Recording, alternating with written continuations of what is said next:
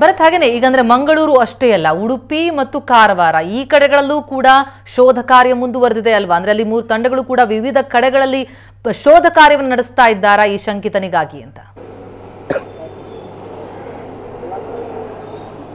ಖಂಡಿ, ಖಂಡಿತ ಪ್ರತಿಮಾ. ಏನಂದ್ರೆ ಪ್ರಮುಖವಾಗಿ ಒಟ್ಟು ಇಪ್ಪತ್ತ ಏಳು ಭಾಗಗಳೇ ನಿನ್ನೆ ರಾತ್ರಿಯಿಂದ ಒಟ್ಟು ಇಪ್ಪತ್ತೇಳು ಭಾಗಗಳಲ್ಲಿ ಶೋಧ ಕಾರ್ಯ ನಡೆದಿದೆ. ಅದರಲ್ಲಿ ಪ್ರಮುಖವಾಗಿ ಮಂಗಳೂರಿನ, ಮಂಗಳೂರು ದಕ್ಷಿಣ ಕನ್ನಡ ಜಿಲ್ಲೆಯ ಭಾಗಗಳಾದ್ರೆ ಉಳಿದವು ಉಡುಪಿ ಮತ್ತು ಕಾರವಾರ. ಯಾಕಂದ್ರೆ ಆತ ಏನು ಕಾವೂರು ಮತ್ತು ಮರವೂರು ಆ ಭಾಗದಲ್ಲಿ ಇಳಿದು ಆತ ಪಂಜಮಗೂರು ರಸ್ತೆಯ ಮೂಲಕ ಉಡುಪಿಗೆ ಹೋಗಿರುವಂಥ ಸಾಧ್ಯತೆಗಳನ್ನು ಕೂಡ ಪೊಲೀಸರು ಒಂದು ಹಂತಕ್ಕೆ ಟ್ರ್ಯಾಕ್ ಮಾಡಿದ್ರು. ಇನ್ನೊಂದು ಭಾಗದಲ್ಲಿ ಆತ ಕೇರಳದ ರಸ್ತೆಗಳನ್ನು, ರಸ್ತೆಯನ್ನು ಹಿಡಿದು ಆ ಭಾಗಕ್ಕೆ ಹೋಗಿರಬಹುದು ಅಂತ ಅನ್ನುವಂಥ ಆ್ಯಂಗಲ್ನಲ್ಲೂ ಕೂಡ ತನಿಖೆ ಮಾಡ್ತಾ ಇದ್ದಾರೆ. ಹೀಗಾಗಿ ಮಂಗಳೂರಿನ ಕೆಂಜಾರು ಏರ್ಪೋರ್ಟ್ನಿಂದ ಮಂಗಳೂರನ್ನ ಕನೆಕ್ಟ್ ಆಗುವಂಥ ಎಲ್ಲಾ ರಸ್ತೆಗಳ ಸಿಸಿಟಿವಿ ಫುಟೇಜ್ಗಳ ವಶಕ್ಕೆ ಪಡೆದು ಅದನ್ನ ತನಿಖೆ ಮಾಡುವಂಥ ಕೆಲಸಗಳು ನಡೀತಾ ಇದೆ. ಆದರೆ ಎಲ್ಲೂ ಕೂಡ ಸದ್ಯದ ಮಟ್ಟಿಗೆ ಆತನ ಚಹರೆಗಳು ಪತ್ತೆ ಆಗಲಿಲ್ಲ ಅನ್ನುವಂಥದ್ದು ಸ್ಪಷ್ಟವಾಗಿ ಪೊಲೀಸ್ ಇಲಾಖೆಗೆ ಗೊತ್ತಾಗಿರುವಂಥ ಮಾಹಿತಿ. ಆದರೆ ಈಗ ಬೇರೆ ಯಾವೆಲ್ಲ ಹಂತಗಳಲ್ಲಿ ತನಿಖೆಯನ್ನು ಮಾಡ್ಬೋದು? ಅಂದರೆ ಚೆಕ್ ಪೋಸ್ಟ್ಗಳಲ್ಲಿ ಇರುವಂತ ಸಿ ಸಿ ಕ್ಯಾಮ್ರಾಗಳಾಗಿರ್ಬೋದು ಮತ್ತು ಪೊಲೀಸ್ ಠಾಣೆಗಳ ಅಂದರೆ ಪ್ರಮುಖವಾದ ಕೇಂದ್ರಗಳೇನಿದೆ, ಆ ಎಲ್ಲ ಕೇಂದ್ರಗಳಲ್ಲಿ ಇರುವಂಥ ಸಿ ಸಿ ಟಿವಿ ಕ್ಯಾಮ್ರಾಗಳೇನಿದೆ, ಆ ಎಲ್ಲ ದಾಖಲೆಗಳನ್ನು ಈಗಾಗಲೇ ಪೊಲೀಸರು ವಶಕ್ಕೆ ಪಡೆದಿದ್ದಾರೆ. ಅದರ ಜೊತೆಗೆ ಉಡುಪಿ ಮತ್ತು ಕಾರವಾರ, ಅಂದರೆ ಈಗಾಗಲೇ ಕಾರವಾರ ಅನ್ನುವಂಥ ಉತ್ತರ ಕನ್ನಡ ಜಿಲ್ಲೆ ಸ್ಲೀಪರ್ ಸೆಲ್ ಆಗಿರುವಂಥದ್ದು ಉಗ್ರರ ಭಟ್ಕಳ ಆಗಿರ್ಬೋದು ಆ ಭಾಗಗಳು